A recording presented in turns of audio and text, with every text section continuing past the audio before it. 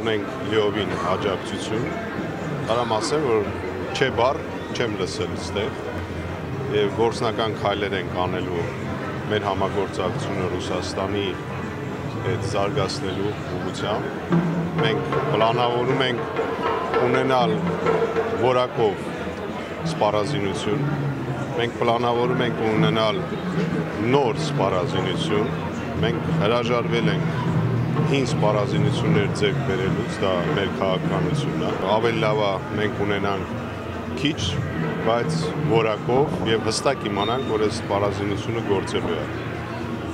Երկրորդ խնդիրը, որ ես այստեղ ինձ համար տեսնում եմ, դա մենք պետք է փորձենք ունենանք սեփական զենքի արտադրությունը, Այստեղ նույնպես մենք ունենք աջակցություն համատեղ ձեռնարկությունների բացման տեսքով եւ արագ դա անելու ենք։ Նորից եմ կրկնում, մենք որպես ազգ պետք է կարողանանք արտադրենք սեփական զենք։ Եվ երրորդ այսպես խնդիրը, որ ես իմ արժեվ տեսնում եմ, որ թույլ չտանք, որ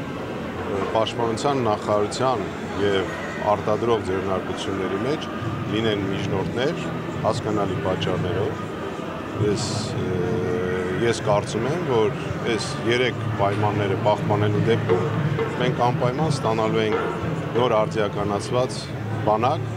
եւ 21-րդ դարին համահունչ բանակ եւ կարողանալու ենք դիմակայել մեր հանդեպ արկա վտանգները։ Շնորհակալություն։